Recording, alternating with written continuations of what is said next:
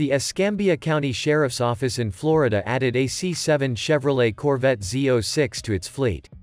The Sheriff's Office gave the coupe a new wrap with the department's branding, and it got an upgraded light package.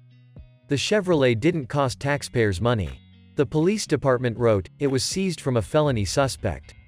The Corvette Z06 will add a lot of horsepower to the department's fleet.